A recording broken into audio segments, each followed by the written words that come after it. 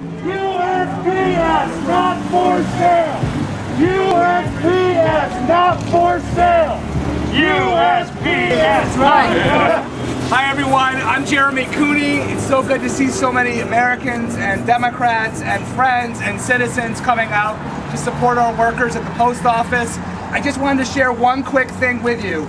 Earlier this week I did a roundtable with seniors across Monroe County. And the topic was the cost of prescription drugs in New York. And how can we lower the cost of prescription drugs in New York? And one of the things that we talked about was the lack of access to prescription drugs because of our mail system. It's not right that we're putting in, in danger the lives of our seniors and our young families who can't have access to prescription drugs because somebody in Washington, D.C. doesn't want our great Postal Service workers to be able to do their job. We've got to change that. This is more than just about politics. Yeah. This is life and death. Right. We have so many great postal workers who've been serving our community for years. And us being here not only stands up for them, but stands up for the rights of democracy in this country. I'm proud to be a lawyer in this country.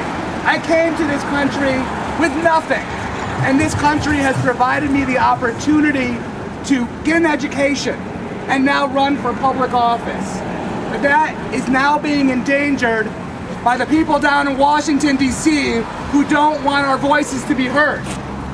And what we're doing here today is we're standing up and saying, I don't think so, not in New York. Right. Woo! I always say we can't control the politics of Washington, D.C., but what we can do is we can stand up for the rights of New Yorkers, whether in upstate or downstate.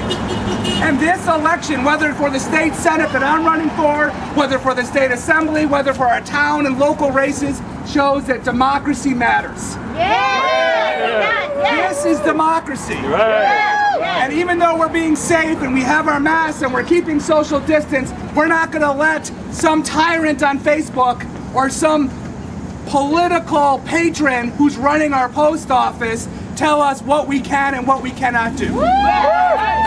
So I join with you in solidarity and I ask you to keep on fighting, keep on speaking up, and make sure you vote in the election this November 3rd. Because it doesn't matter if we're voting for the President of the United States or a town justice. Democracy matters. That's what matters in America, and that's what we're standing up for today. So thank you so much. This is what democracy looks like. This is what democracy looks like. This is what democracy looks like. This is what democracy looks like. This is what democracy looks like. This is what democracy looks like. This is what democracy looks like. This is what democracy looks like. This is what democracy looks like. This is what democracy